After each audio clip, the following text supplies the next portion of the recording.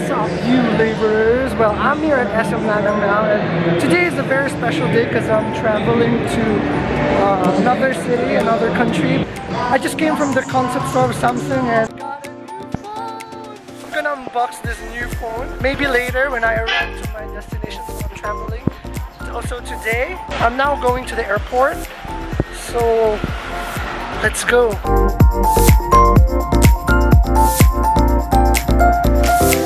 Just arrived here in KLIA or the Kuala Lumpur International Airport and I got my baggage already. So when I arrived at the airport, I always remembered um, AIM. So I just made an acronym, just three letters that the important things to remember before leaving the airport. First is A is find your adapter. So I have already an adapter, which I will show you um, which I got before last year because Malaysia has like European, I think British, three ports different from our country, Philippines. Second is I is internet because you you need it for Google Maps. M is for money, exchange money, change to local money. Not all because the exchange rate of the airport is not very good, but exchange money so that you can pay for whatever mode of transportation you're going to take when you leave the airport. The Kuala Lumpur International Airport is a major hub because knowing that AirAsia is from Kuala Lumpur. So this is a major transportation hub. This is so big. I think the airport is so big. What I've read before, it's like 100 kilometers, square kilometers in dimension. So that's so big. But the NAIA International Airport in the Philippines, our major transportation hub, is just at 2,000. So that is good planning right there. Then you can expand your airport into a bigger size. So let's go to the arrival hall. So I finished all the tests that I need to do, like exchange some money, also get a SIM. I like the money of Malaysia because it's small. It fits easily in the pocket. A 4G SIM, which I booked on Klook, so you can book like cheap SIM cards. Just pick up in a location here at the arrival hall. We're now traveling to the center of Kuala Lumpur. So there are four options to go travel from KLIA to Kuala Lumpur. That first I think taxi and then there's also an airport railway which is on schedule because it's already like 1 a.m. I don't think there's already an airport railway so that's out of my option taxi is way too expensive. And a bus I don't know the schedule. The fourth option is get a Malaysian friend and let him drive you to Kuala Lumpur. I got a Malaysian friend. He offered when I was asking what mode of transportation do I need to take from the airport and it's considering 1 a.m. in the morning. So he just gracefully I didn't force anything and then offered that he will take me to Kuala Lumpur Center now so I just entered the driver's seat. I forgot they were driving on the they were left side left side driving, right? Yeah. Left side driving like No, yeah. We just left maybe five minutes from the airport and then we're now at the McDonald's. Like what better way to start the trip than to eat at the McDonald's, right? Korea, not even in our country. It's 2.30, just gonna eat McDonald's. just drive through and McDonald's with Milo, it's so big. Just like in my country, you can leave the leftovers, like the cups. You, you don't have to clean it like other Asian countries, so it still feels like home, which we're not proud of. Maybe we will change, maybe. We're now in KL, of KL. If we keep quiet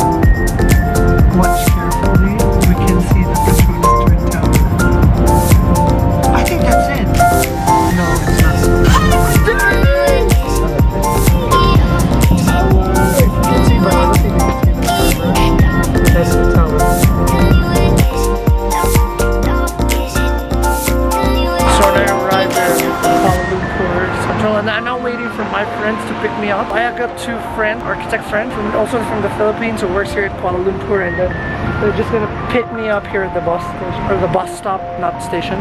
Hi! so we are now here, 26th floor of this causeway building. And, and I'm staying in this room. So let's have our room tour. Am I only the only one gonna stay here? Seriously? So I have four beds, so I can wake up at 3 a.m. and then transfer to, Saturday, Sunday, Monday. another. Or seriously, uh, this is like a dormitory, and and I, I asked the concierge to have the view of the Petronas Twin Tower. When I opened, so let's reveal if they approve the request. Where is the tower? Where is the tower?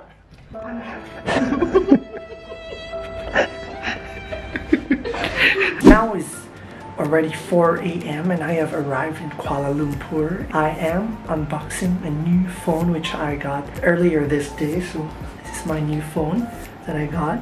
This is the Galaxy Note 9. So now this is the phone. I'm gonna take it. So this is it, Galaxy Note 9. The back.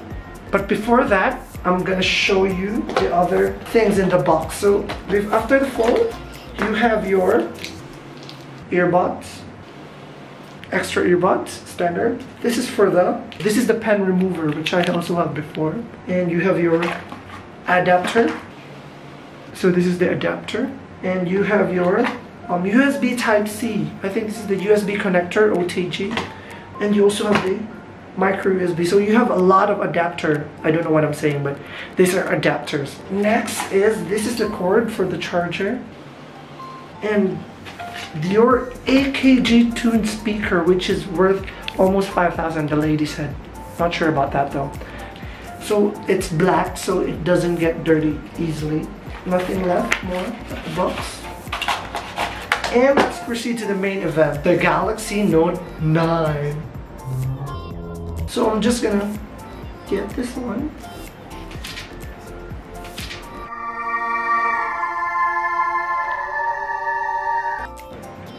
Wow, first impressions. Whoa. The edges are just so beautiful. This is so squarish phone. It fits perfectly in my big hands. It's so cold. It's so cold because it's glass at the back. Mm-hmm. Let's open. Oh, oh my god. Okay. It's just empty on the front. It's so clean. It's my first time to have this kind of phone that no bezels for the whole button. And you have here is the Bixby button, which I will try maybe later because I didn't really know what Bixby is. So you have the volume rockers on the left side. So when I'm holding it, it will be like like this one on my fingers. So yeah, that's very reachable. So at the front you have the front speakers. You have a speaker at the top and you have a camera and you also have a bottom speaker and your charger and this is the best thing Samsung saved. You have to get this 3.5 which is really really nice. So so this is the major component of the Note, the S Pen. So you just have to push it so that it will eject. Ooh, this will be the S Pen. So now, S Pens have new functions like controlling to shoot cameras and it already uh, controlling PowerPoints and something like that. So you can now use this one to control your phone while it's away from you. So it's like a pointer doing presentations or taking selfies like timer selfies so that is a very big advantage and and as far as I know you just have to put it back so that it will charge for 30 seconds and then you can use it let's turn it on now. So let's see. I want to close up my face but when I turn it on I want to see my reaction.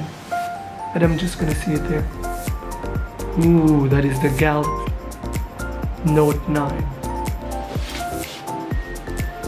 Mm, Samsung logo. Pretty nice. Oh, this display is awesome. Wow, let me just take a moment to absorb this one.